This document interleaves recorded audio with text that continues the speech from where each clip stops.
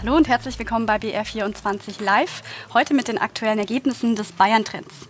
Zweieinhalb Monate ist jetzt die Koalition aus, von CSU und Freien Wählern im Amt. Außerdem haben die Vorwähler in Amberg bundesweit für Schlagzeilen gesorgt. Um diese Themen geht es. Zu diesen Themen haben wir die Bürgerinnen und Bürger befragt. Und bei mir darf ich begrüßen Andreas Bachmann, den Leiter des BR-Politikmagazins Kontrovers. Hallo. Andreas, du wirst das Ganze für uns ein bisschen einordnen. Genau. Genau.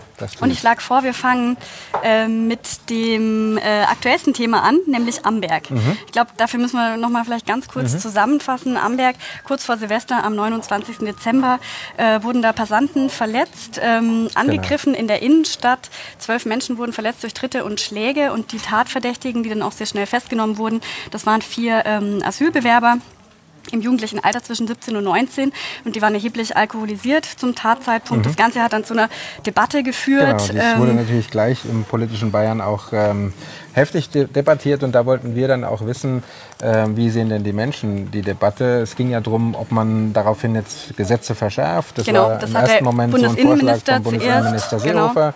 Ähm, oder ob, man, ob es reicht, ähm, dass man sozusagen die bestehenden Gesetze einfach nur strikter anwendet. Und da ist es ganz interessant, finde ich, was in der Umfrage rausgekommen ist. Denn genau. die Bayern sehen das Ganze, ich glaube, so kann man es zusammenfassen, ähm, gelassen. Mhm. Ähm, nur 35 Prozent sind dafür, dass die Gesetze weiter verschärft werden. Und 60 Prozent sagen, nein, es reicht, wenn die bestehenden Gesetze konsequenter angewandt werden. Also sozusagen ja, kein aufgeregter Umgang mit mhm. dem, was da in Amberg geschehen ist. Dafür, dass die Debatte doch recht erhitzt war, eigentlich recht recht besonnen. Mhm. Äh, spannend dazu auch, wir fragen ja auch immer, welche Themen die Bayern ähm, besonders, also wo drückt der Schuh, ja? Ähm, wo, was treibt die Bayern um? Genau. Da ist Asylpolitik zwar auf dem ersten Platz. Es ist so, das ist jetzt schon seit einiger Zeit mhm. so, aber wir stellen fest, dass es doch sozusagen immer weniger wird. Äh, 37 Prozent sind es jetzt noch, das ist äh, ein Minus von neun Punkten im Vergleich äh, zu September des mhm. vergangenen mhm. Jahres. Und auch davor waren es schon einmal noch mehr. Also vor der ähm, Wahl war es irgendwie drängender noch. Ne? Absolut, ne? genau. Wichtig ist da noch der Hinweis aber, dass wir auch offen fragen. Also diese Frage mhm. wird nicht gestellt, dass wir eine Liste vorlegen und den Menschen sozusagen Themen vorgeben, sondern das ist eine ganz offen gestellte Frage. Was, was ist für um? Sie mhm. das äh, äh, wichtigste Thema? Und dann kann jeder das sagen, was er möchte. Und das wird dann von den Interviewern am Telefon, die ordnen das Notiert. dann sozusagen zu. Mhm. Und ja, wie gesagt, Flüchtlinge, Einwanderung, Asyl an Position 1, an Position 2, äh, aber das Thema Bildung, Schule, Ausbildung mhm.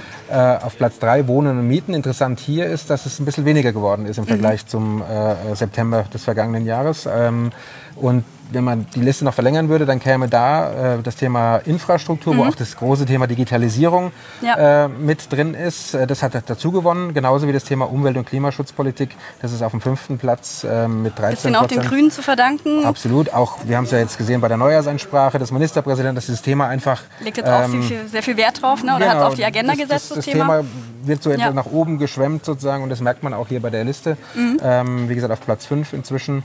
Und ähm, ja, es ist sozusagen, bildet schon im Moment auch die, die Diskussion, denke ich, ganz gut ab. Ja, ich würde sagen, bevor wir weitermachen mit den wichtigsten Ergebnissen, mhm. was immer wieder gefragt wird äh, von euch auch, ist, wie kommt diese Statistik eigentlich zustande? Wie entsteht der Bayern-Trend? Wir haben das für euch in einem Video mal erklärt.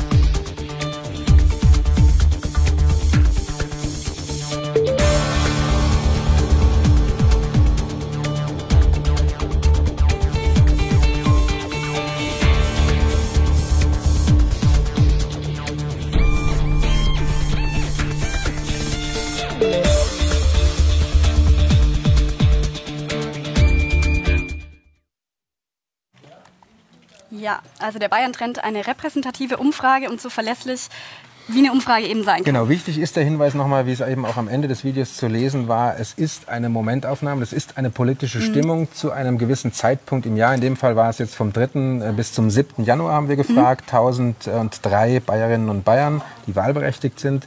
Ähm, und ähm, es ist keine Vorhersage eines Wahlergebnisses. Das muss man immer wieder dazu sagen. Aber nicht. es ist eben ein Gradmesser, ein Stimmungsmesser auch für die politischen Parteien. Mhm.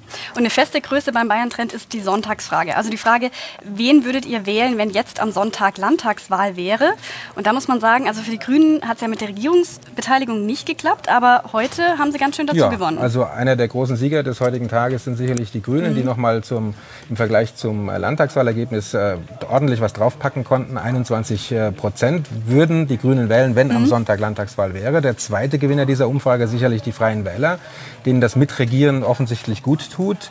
13 Prozent. Beide Werte sind All-Time-Highs, äh, die wir im Bayern-Trend gemessen haben mhm. für diese beiden Parteien. Die äh, CSU verharrt im Tief Relativ, im Moment noch, ja. 35 Prozent. Mhm. Ähm, die AfD, auch das interessant, äh, verliert 8 Prozent nur noch und äh, die SPD 9 Prozent, äh, etwa eben auf dem Niveau der Landtagswahl.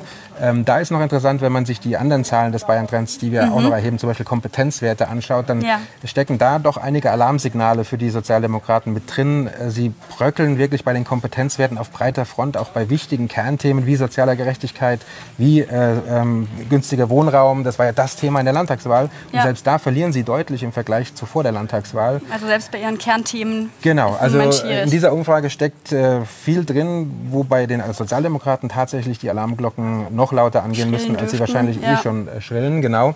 Ja, und last but not least, die Liberalen, FDP 6 Prozent, also auch in etwa Leicht auf dem zugelegt. Niveau. Ja. ja, wir haben ja immer auch Schwankungsbreiten mhm. äh, bei einer Umfrage. Ja. Also etwa auf dem Niveau und Linke und auch sonstige spielen letztlich keine Rolle. Ja. Die Sonntagsfrage ist ja auch schon immer so ein kleiner Hinweis, wie zufrieden sind die Bayern mit der Landespolitik. Wir können es aber noch genauer sagen, denn wir fragen auch immer gewisse ähm, Personalien ab. Und zwar haben wir gefragt nach Markus Söder und Hubert Aiwanger. Anfang November haben sie einen Koalitionsvertrag unterzeichnet und sie haben beide zugelegt. Ja. Wie kommt's? Nun, also es ist ganz interessant. Äh, Markus Söder, der ja vor der Wahl eher mit sinkenden Werten zu kämpfen hatte, hat jetzt sozusagen vielleicht ein Stück weit den Turnaround geschafft. 55 Prozent sind mit ihm zufrieden. Das ist ein Plus von vier Punkten im mhm. Vergleich äh, zu Oktober. Ähm, bei Hubert Aiwanger sind es sogar neun Punkte mehr mhm. als im Oktober. Also beide haben gewonnen. Und ich glaube, man kann es ein Stück weit damit erklären, dass es ihnen gelungen ist, doch sehr geräuschlos, relativ schnell äh, eine Regierung in Bayern zu bilden, wenn wir es gerade auch vergleichen. Ohne große Krisen. Genau, mit Berlin, was ja. da los war. Auf es wurde nicht getwittert aus den Koalitionsverhandlungen. Also es lief alles sehr harmonisch, sehr schnell ab und ja. ich glaube, das äh, schlägt sozusagen positiv zu Buche für die beiden, die das ja letztlich sozusagen ausgehandelt haben als die beiden Hauptmatadore. Mhm. Spannend da noch zum Vergleich. Also Markus Söder hat zugelegt, ähm, bei Horst Seehofer nicht nur Bundesinnenminister, sondern auch noch CSU-Vorstand genau. sieht es anders aus. Genau, er ist CSU-Vorsitzender, noch zehn Tage, wenn mhm. man es genau nimmt. Am äh, 19. Januar wird er sein Amt abgeben und das ist mhm. sozusagen insofern ein Stück weit ein, ein Abschlusszeugnis, was äh, die äh, Wählerinnen und Wähler ihm da auch ausstellen. Und das ist eher durchwachsen, nur, nur jeder Dritte ist zufrieden mit Horst Seehofers Arbeit. 68 Prozent sind äh, weniger oder gar mhm. nicht zufrieden. Ähm, es ist da gleich dem Wert im Oktober, also er hat es nicht mhm. noch mehr verloren, aber er konnte bisher auch noch nicht wieder Boden Kann gut machen sozusagen. Zulegen. Also ich, äh, es ist auch im Übrigen in der Anhängerschaft der CSU, das ist ja auch immer ganz interessant, wenn man in die eigene Anhängerschaft reinschaut. Auch da überwiegt, nicht so deutlich wie hier, aber da überwiegt auch das kritische Urteil über Horst Seehofer. Ich glaube, es sind 54 Prozent, die äh, weniger zufrieden sind mit ihm. Also es ist alles schon auf den Wechsel ausgerichtet einfach. Ist, ne? ist, es läuft alles da ganz klar auf Markus Söder zu. So ist es. Genau. Andreas, vielen Dank. Sehr Soweit gerne. mal mit den wichtigsten Ergebnissen zum Bayern-Trend. Auch vom CSU-Parteitag berichten wir natürlich für euch nochmal. Und wenn euch das jetzt zu schnell ging, alle Ergebnisse zum Nachlesen, die findet ihr nochmal auf unserer Webseite br24.de in der BR24-App. Folgt uns gerne auch auf Facebook und auf Twitter. Auf Facebook und auch im Web streamen wir nämlich zum Beispiel auch um 21 Uhr kontrovers. Da gibt es auch alle Ergebnisse eben nochmal sehr schön kompakt zusammengefasst und ähm, für euch eingeordnet. Andreas, dir vielen Dank. Ich sage danke. Euch danke fürs Zuschauen und bis zum nächsten Mal. Ciao.